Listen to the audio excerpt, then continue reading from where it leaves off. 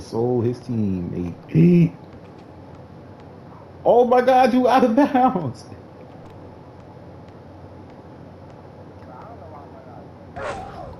Dumbass.